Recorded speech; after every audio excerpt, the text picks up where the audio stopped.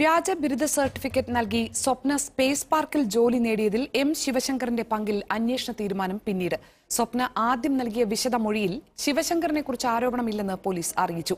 എന്നാൽ രണ്ടാഴ്ചയ്ക്കുള്ളിൽ മുംബൈയിലെ സർവകലാശാലയിൽ നേരിട്ടെത്തി വിവരം തേടാനും പോലീസ് തീരുമാനിച്ചു. മഹാരാഷ്ട്രയിലെ ബാബാ സാഹേബ് അംബേദ്കർ സർവകലാശാലയിൽ നിന്നെന്ന പേരിൽ വ്യാജ ബിരുദ സർട്ടിഫിക്കറ്റ് ഹാജരാക്കിയാണ് സ്വപ്ന സുരേഷ് ഐ ടി വകുപ്പിന് കീഴിലെ സ്പേസ് പാർക്കിൽ ജോലി നേടിയതും ലക്ഷങ്ങളുടെ ശമ്പളം കൈപ്പറ്റിയതും. വ്യാജ സർട്ടിഫിക്കറ്റ് എന്ന് അറിഞ്ഞുകൊണ്ട് ശിവശങ്കറാണ് ജോലി നൽകിയതെന്ന് സ്വപ്ന ആരോപിച്ചിരുന്നു. ഐ ടി വകുപ്പിന്റെ ചെയർമാനായിട്ടിരിക്കുന്ന ശിവശങ്കർ സാറിന്റെ കീഴിലുള്ള ഒരു പ്രോജക്റ്റിൽ എന്നെ ഒരു ഓപ്പറേഷൻസ് മാനേജറായിട്ട് ഒരു കൺസൾട്ടൻസി വയ്ക്കുമ്പോഴത്തേക്കും അതിന്റെ ബാക്ക്ഗ്രൗണ്ട് വെരിഫിക്കേഷന് റെഫറൻസ് പോലും സാറിന്റെ പേരാണ് വെച്ചിരിക്കുന്നത്.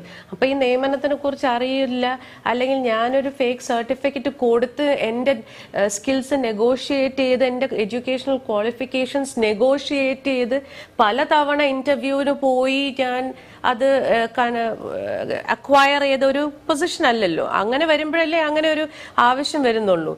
വെളിപ്പെടുത്തൽ പ്രകാരം ശിവശങ്കറും വ്യാജരേഖ നിർമ്മാണത്തിൽ പ്രതിയാകേണ്ടതാണ്. എന്നാൽ ഉടനെ അത്തരം നീക്കമുണ്ടാവില്ല. കാരണം കേസിന്റെ തുടക്കത്തിൽ ജയിലിലെത്തി സ്വപ്നയുടെ വിശുദ്ധ മൊഴിയെടുത്തിരുന്നു. ക്യാമറയിൽ ചിത്രീകരിച്ച ആ മൊഴിയിൽ എവിടെയും സ്വപ്ന ശിവശങ്കറിന്റെ പേര് പറയുന്നില്ല. ചീഫ് സെക്രട്ടറി നടത്തിയ വകുപ്പുതല അന്വേഷണത്തിലും വ്യാജരേഖ നിർമ്മാണത്തിൽ ശിവശങ്കറിന് പങ്കുണ്ടെന്ന് കണ്ടെത്തലില്ല. അതിനാൽ കൂടുതൽ തെളിവ് ശേഖരിച്ച ശേഷമേ തീരുമാനമുണ്ടാകൂ. എന്നാൽ സർട്ടിഫിക്കറ്റ് വ്യാജമെന്ന് സ്ഥിരീകരിക്കാനായി തിരുവനന്തപുരം കന്റോൺമെന്റ് സിഎയുടെ നേതൃത്വത്തിലെ സംഘം സർവകലാശാലയിൽ നേരിട്ടെത്തി വിവരം ശേഖരിക്കും. മനോരമ ന്യൂസ് തിരുവനന്തപുരം.